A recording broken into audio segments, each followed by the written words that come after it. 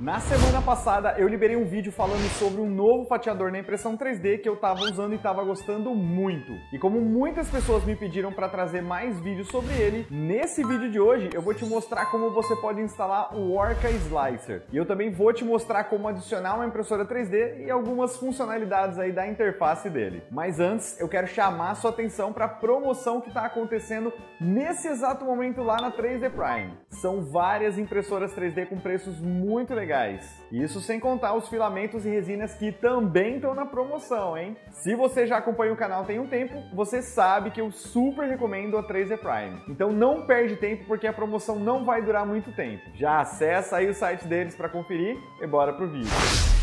Bom, vamos lá, né? Vamos começar do começo. A semana passada eu postei um vídeo aí sobre o Orc Slicer. Muitas pessoas ficaram interessadas, mas não sabiam nem por onde começar a fazer a instalação dele. Acontece que o Orc Slicer, ele é um software open source. Isso significa que todo o código-fonte dele está liberado para a comunidade, para que a comunidade possa evoluir com ele, né? Desde que essa evolução seja retornada para a própria comunidade. Os executáveis, o código-fonte do Orc Slicer está disponível aqui no GitHub. Se você der uma olhada aqui, ele vai ter todos o código, todo o código fonte dele ali. Ele tem várias informações aqui do, de quais são os features, como que faz para instalar. Por exemplo, se você tiver algum problema na instalação, dá uma olhada aqui nessas duas coisas que podem ser que estejam faltando, né? Como fazer a compilação dos, do código fonte, enfim. Isso já é um pouco mais avançado, a gente vai focar na parte da instalação apenas, que é mais fácil. Para achar aonde tem o executável aqui do Orc Slicer para fazer a instalação, ele fica aqui, ó, no lado direito, a gente tem releases, né? E a gente tem cerca de 40 é, releases, que na verdade é uma liberação de versão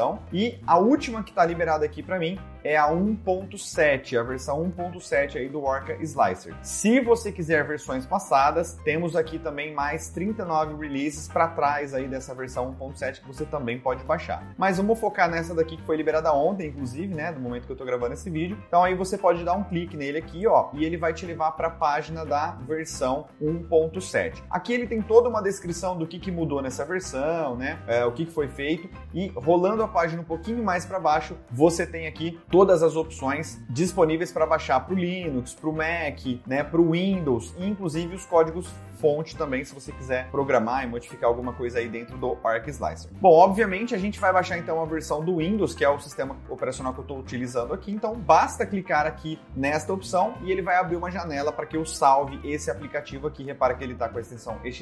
Eu vou clicar, ele vai abrir uma janela para que eu salve aqui esse executável e aí sim eu possa uh, rodar o instalador a partir dele. Bom, e aqui na parte da instalação não tem muito segredo, né? O famoso próximo, próximo e terminar, né? Então vai clicando aí, próximo, próximo próximo terminar instalar que o próprio instalador já vai fazer todo o trabalho aí para você e vai instalar sozinho o Arca Slicer. Quando você termina de fazer a instalação do Arca Slicer, essa é a primeira cara aí do fatiador que você vai ver. A gente tem duas opções aqui, criar um novo projeto ou abrir um projeto. Então vamos criar um novo projeto, a gente vai dar um clique aqui nesse botão e aí ele já mostra aquela cara um pouquinho mais familiar dos fatiadores que a gente já está acostumado. Quem está habituado a mexer com o Prus Slicer já vai reconhecer um pouco das coisas aqui. A única diferença diferença é que ao invés dessa barra aqui com as características aqui, né, as configurações estar do lado uh, direito aí da tela, na verdade ela tá aqui do lado esquerdo agora, mas enfim, é, você vai ver que não muda muita coisa. Então, você que está migrando do Prusa pro Orca Slicer, você não vai sofrer tanto. Se você está vindo do, do Cura pro, pro,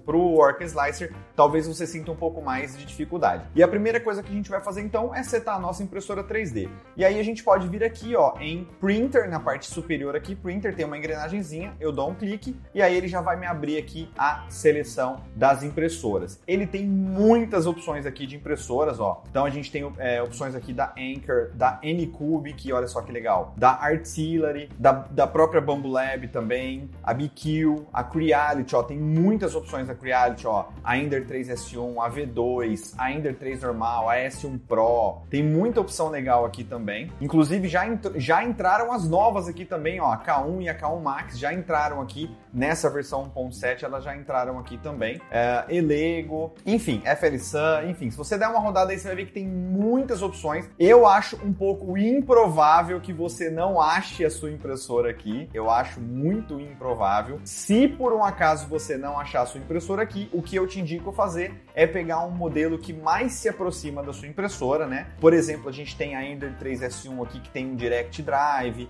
a gente tem, por exemplo, a Ender A Ender 3, por exemplo, V2, que tem o padrão Bolden aqui da extrusora. Então, pega um modelo de impressora que mais se aproxima ali da sua impressora 3D que não está listada aqui e vai fazer as modificações nela a partir desse perfil que está aqui. É a maneira mais fácil, tá? Ou não, se caso você não quiser, vamos supor então que é, eu tenha o perfil aqui da Ender 3S1 Pro, eu queira este perfil aqui para mim, né? Então eu tenho só que tomar cuidado, né? Porque eu já tenho alguns selecionados aqui, então eu não vou tirar para não bagunçar aqui o, o, meu perfil. Mas vamos supor que eu quero esta impressora aqui, eu vou selecionar ela e vou clicar em Confirm. Quando eu fizer isso, então pronto, a impressora que eu selecionei, ela vai vir para cá. Se você precisar fazer algum ajuste na sua impressora, então você vai ter que dar um clique aqui nesta opção e aí ele vai abrir a janela com as preferências da sua impressora, aonde você pode, por exemplo, configurar a área de impressão. Olha só, você pode clicar aqui e aí ele tem aqui a, o X e o Y, né? Você pode colocar uma textura, você pode colocar um modelo, você pode selecionar se ela é, por exemplo, retangular, é, circular ou até mesmo é, customizada, né? E aí você pode escolher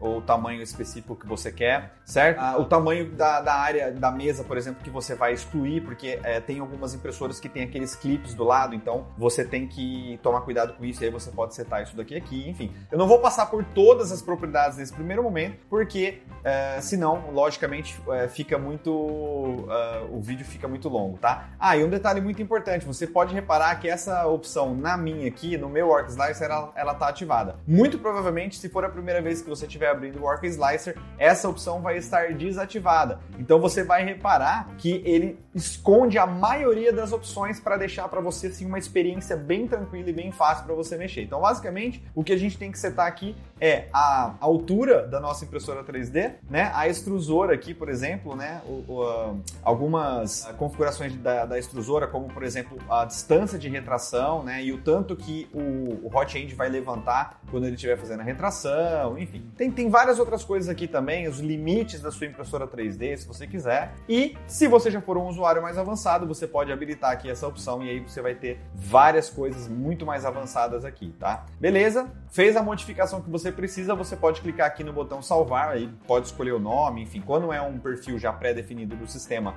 como é o caso desse daqui, ele não deixa eu salvar por cima, então eu tenho que mudar o nome aqui, colocar o nome que eu quiser, enfim, tá? E beleza, não vou salvar porque eu já tenho aqui o que eu preciso. Feito isso, a gente precisa então escolher quais os materiais com que a gente vai trabalhar. Como é que a gente faz isso? Na parte de baixo aqui na questão do filamento, né? Se você der um clique aqui, por exemplo, você vai ver que ele tem diversos já materiais pré-configurados para que você possa trabalhar. Diversos materiais aqui, certo? Então você escolhe quais os materiais que você quer e confirma, e aí ele vai trazer todos esses materiais para cá. Se caso você quiser adicionar um material novo que você não encontrou ali, você pode clicar nessa opção aqui de Add One Filament, né? E se você quiser excluir, a mesma coisa, você pode clicar aqui também. Aqui, ó, a gente tem é, vários é, tipos de, de materiais que a gente pode escolher que já foram importados. Então, vamos supor, com um PLA aqui uh, escolhido, certo? E na parte de baixo a gente tem os perfis, né? Então aqui a gente escolheu a impressora, o filamento e aqui a gente tem de fato as configurações. Repara que de novo, né? Essa opção no meu ele estava ativada, então ele estava mostrando muito mais configurações do que realmente talvez é necessário para quem está começando na impressão 3D. Então, se você for um usuário iniciante, pode deixar essa opção desmarcada que vai te facilitar muito a vida. Você vai ver que ele tem pouquíssimas opções aqui para que você se preocupe com elas, né, para que você possa mudar, como por exemplo a qualidade, aí a gente tem a altura da camada, né, a altura da camada inicial, a posição aqui da costura, enfim, é, várias coisinhas que você pode alterar aqui, como por exemplo a quantidade de perímetros, né? Eu não sei porque eles mudam os nomes, eles poderiam manter os nomes, né? Então, por exemplo, wall loops, né? Na verdade é traduzido como perímetros. A parte da a superfície, né, é, superior e inferior também, né? A gente tem o top e o bottom aqui também que a gente pode escolher. A, as configurações de suporte, olha que fácil que são as configurações de suporte. Inclusive ele tem aqui também, ó, o suporte em árvore, tá? Que você pode utilizar. Ele tem o suporte normal e o suporte em árvore. E, e se você tiver interesse, eu posso fazer uma aula especificamente do suporte aqui no Work Slicer, porque ele tem algumas diferençazinhas também que eu acho interessante. É, talvez valha um vídeo só para os suportes aqui do Orca Slicer, tá? Então já comenta aí para me, me dizer se você quer um vídeo assim, que daí eu trago para que você possa também entender um pouquinho melhor aqui dos suportes no Orca Slicer. E a parte aqui dos, uh, por exemplo, skirt, brim, enfim, modo sequencial, né? Se você quer por, uh, por camada ou por objeto, enfim, tem várias coisinhas aqui. Se você for um usuário mais avançado, você pode clicar aqui no Advanced e aí sim ele vai te mostrar muito, muito mais opções ali, né? para que você possa contro é, controlar a sua impressora 3D de uma forma assim absurda, né? Ele te dá o controle assim de muita coisa mesmo para que você possa controlar a sua impressora 3D. Beleza? É isso. No mais, aqui na parte de cima, rapidamente também, se você clicar com o botão direito na mesa da impressora, ele já te dá, por exemplo, um menuzinho ali com Add Primitive, onde você pode adicionar alguns objetos já pré-definidos, como por exemplo aquele barquinho, ó. Se eu clicar aqui, ele já vai adicionar o barquinho para mim. Por exemplo, se eu clicar aqui, ó, Orca Cube, ele também já vai adicionar esse cubinho aqui, ó, que é para a gente fazer uma, é, para a gente ver se a nossa impressora 3D está bem calibradinha e tudo mais, né? Se você não quiser nenhum desses arquivos, você pode clicar aqui no Add e aí você vai escolher o arquivo que você quiser, tá? Aqui na parte de cima eu acho essa opção muito legal porque você pode trabalhar com mesas de impressão 3D. Então vamos supor que você tá com um arquivo que ele é muito grande, que ele não cabe em uma mesa só. Quando você faz a importação desse arquivo, o próprio Orca Slicer já cria várias mesas para você. Ou se você quiser fazer isso de forma manual, você pode clicar aqui nessa, nessa, é, nessa opção e ele já cria para você também uma segunda mesa. Isso é excelente, porque aí você pode montar várias mesas simultaneamente no, no mesmo fatiador e você simplesmente vai selecionando a mesa que você quer imprimir naquele momento, né? Isso é fantástico, ó. Então a gente tem a mesa 1, a mesa 2, né, que ele vai marcando aqui pra gente, e é simplesmente sensacional essa configuração aqui, certo? Beleza. Aí, outra coisa que a gente tem aqui, por exemplo, auto-orientação. A gente tem, por exemplo, vamos colocar um, um barquinho aqui. E aí, se eu clicar aqui, por exemplo, deixa eu virar ele primeiro, né? Aqui a gente tem por exemplo, a parte de rotação. Vou virar ele aqui. E aí, vamos supor que o objeto ele chegou assim pra gente. Então, o que, que eu posso fazer? Posso dar um clique nele, clicar aqui em Auto Oriente. Ele vai procurar qual que é a melhor orientação para imprimir aquele objeto. Lembrando que nem sempre funciona, tá? Na maioria das vezes é uma orientação bem legal que ele escolhe, mas não é sempre que funciona, ok? Aqui é, do lado a gente tem a parte de arranjar os objetos na mesa. Se caso, por exemplo, eu tiver aqui é, um objeto, vários objetos na mesa, eu dou um clique aqui, clico em Arrange e aí ele vai colocar os objetos na minha mesa da melhor forma possível, certo? Aqui a gente tem a altura variável de camada, que eu já fiz um vídeo também explicando isso uh, a respeito uh, dessa propriedade, mas eu fiz o vídeo no Cruise Slicer. Se você quiser que eu faça um vídeo sobre isso, então por favor já comenta aí também, que é um jeito muito legal de você economizar tempo nas suas impressões 3D, mas tentando manter o máximo da qualidade possível, tá? Então é legal também essa propriedade.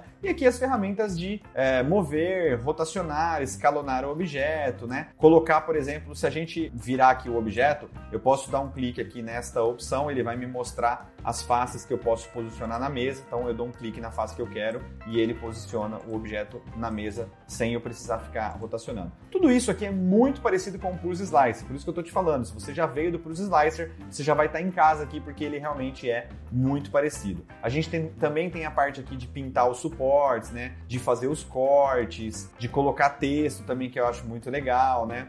Enfim, temos algumas outras coisas aqui legal também que de repente valeriam um vídeo só para isso. Então, assim, qual que é o intuito desse primeiro vídeo? É dar o pontapé inicial aqui no Orc Slicer, mostrando aqui um pouco da, da de como você faz para adicionar uma impressora 3D, né? E um pouquinho da interface do Orca Slicer. Lembrando que aqui em cima também a gente tem um botãozinho de Slice, né? Que é para fatiar o objeto que a gente está colocando ali na mesa. E aí, quando você clica no Slice, automaticamente ele muda aqui para a parte do Preview, tá? Eu, eu acho que eu habilitei o suporte aqui, deixa eu tirar para a gente ver como é que vai funcionar isso daqui. Então, quando eu clico aqui, automaticamente ele muda aqui para o Preview, e aí ele vai me mostrar né, o objeto fatiado com aquele menuzinho aqui também, com o tempo, o tempo que ele está gastando em cada uh, função e tudo mais. Aqui no device, eh, eu não vou ter nenhuma impressora configurada nesse momento, mas serve para que você, por exemplo, aqui ó, nesse sinalzinho, você possa clicar e aí você informa o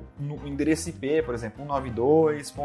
sei lá, 168.0, sei lá, ponto 59, não sei. Então aí você vai conectar a sua impressora 3D aqui, certo? Eu não vou fazer isso porque eu não tenho essa impressora. E aí quando você clicar em device, ele já vai conectar diretamente na sua impressora 3D e você vai ter o controle total da sua impressora 3D de dentro aqui do Orca Slicer certo? É fácil assim, é legal assim, tá? Funciona uh, muito bem com o Clipper que eu testei aqui, com Octoprint eu, eu ainda não testei, mas com as impressoras que tem o Clipper, por exemplo, Sonic Pad, né, e tudo mais funciona bem legal, certo? A gente tem alguns outros, uh, algumas outras abinhas aqui que eu não vou passar agora, mas era isso que eu tinha passado, que, que eu tinha para passar para vocês aí. E é, lembrando que se vocês quiserem, então comenta bastante aí que eu trago mais vídeos sobre o fatiador Orca Slicer, porque realmente ele é muito legal. Uh, posso trazer de repente as configurações aqui para que serve cada uma dessas configurações, fazer realmente um mini curso aqui do Orca Slicer que eu acho bem interessante. E mais interessante do que isso, que eu acho que vale um vídeo também especial sobre isso, é a parte de calibração, que é uma, uma parte de calibração com um toque. Você simplesmente clica e aí vamos supor que você quer calibrar o Pressure Advance, você vai dá um clique ali e ele já vai configurar tudo para você e você vai conseguir configurar o Pressure Advance tranquilamente. Acho que isso vale um vídeo só, só para essas funções aí, né? O que, que você acha? Comenta aí para eu saber, tá bom?